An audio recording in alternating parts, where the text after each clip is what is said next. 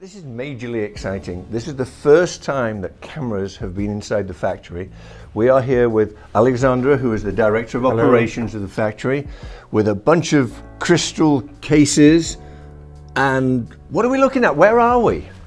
We are in La Chaux-de-Fonds in Switzerland, a city with many, many producers of uh, watch parts. And you make exclusively the, the, the cases here, these crystal cases, and I see all sorts of things. Here we are specialized in very complicated uh, sapphire parts. One of uh, our main partner is uh, Jacob & Co.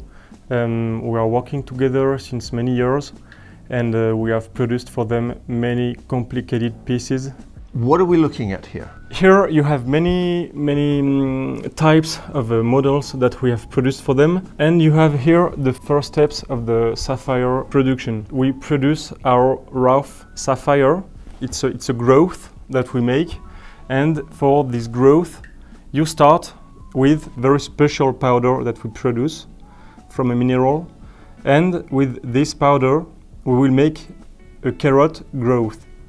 No? So And how is that done? That through high pressure and high temperature? it's very high temperature. It's uh, two, more than 2000 degrees uh, to make it uh, to make the growth. It's simplified but it's it's kind of like this It's very complicated. How, how, Yeah, how yeah. long does it? How long does it take to grow what you're holding? For a there? small one like this, it's uh, 12 hours, but in a small carrot like this, you cannot make pieces as big as these ones. For these big pieces, we will need to make some bigger growth uh, of this size. May I? Yeah, of course. Good luck. Oh, very my, heavy. Be careful, Michael. very heavy. It's solid. my goodness me! I, I thought this looked like a This candle. You red. know, I like- just tried this to is move red it. sapphire crystal. this has to be like five kilos, More.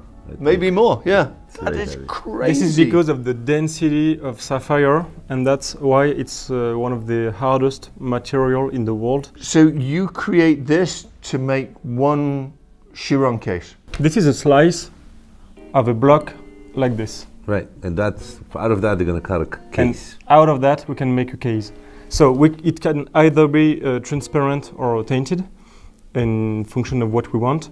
And then we machine a case from that slice. So here you have different types of pieces that we have produced, always from these slices.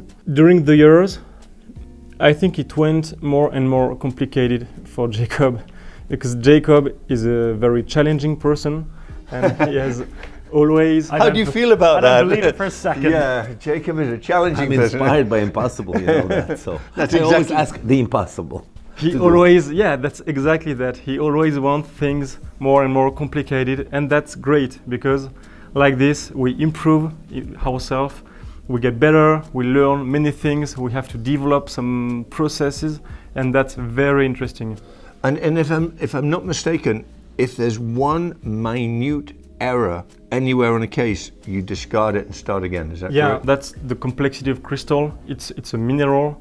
It's a, it's a kind. It's a stone. It's a very hard material. That's why we cannot scratch it. That's why we love it and we use it. But it has no elasticity. So if you make one mistake, the sapphire will break.